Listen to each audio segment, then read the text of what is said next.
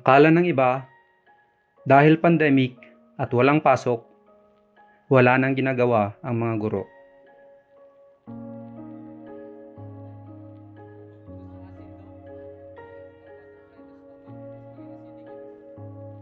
Lingid sa kaalaman ng karamihan, di magkanda o gaga ang mga guro para habulin ang pagbubukas ng klase.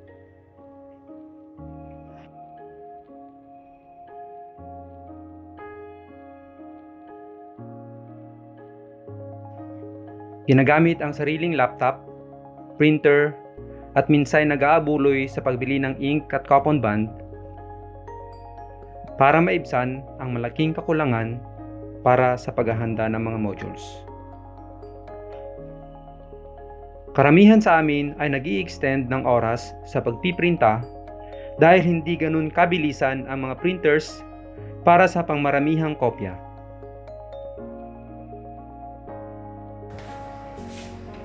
Anong kailangan mo, ma'am? Kailangan ko po ng ink, Ano pa? ah, bond paper po. Ah, sige, bumili ka doon, ma'am. Ikaw, ma'am Babet, anong kailangan mo? Printer po. Printer, ang mahal naman nun. Hindi ka naya. Yes, we are still printing here in this uh, area. Dito tayo sa grade 3, nandito si Lamam at nagpiprint din. Yes. Kumusta ang pagpiprint niyo, ma'am? Ano pang kailangan niyo? We need more bond Band papers and Ink and printer. anting ang printer. So, bumili kayo doon, ma'am. Mag-ipon kayo para makabili. Paano tayo maka-uwi na umuulan? Ang lakas. Ayan, oh. Muulan. Kadalasan, nasa isang daang modules lamang ang kaya sa isang araw.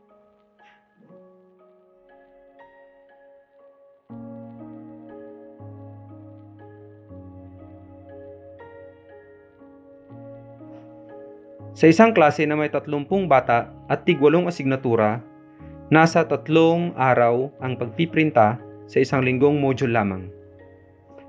Ipapaano kung sobra 30 ang mga bata? Papaano kung walang sariling printer ang guro?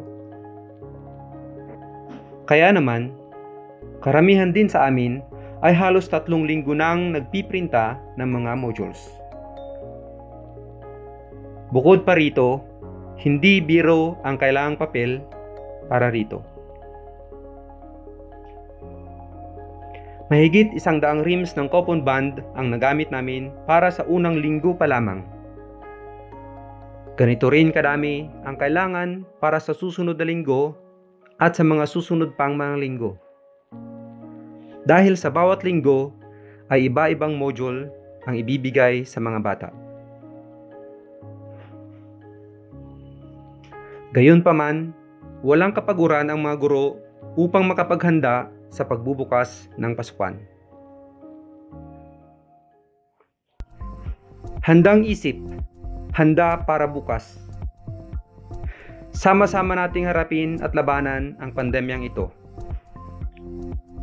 Lagi nating alalahanin na kasama natin ang ating Panginoon.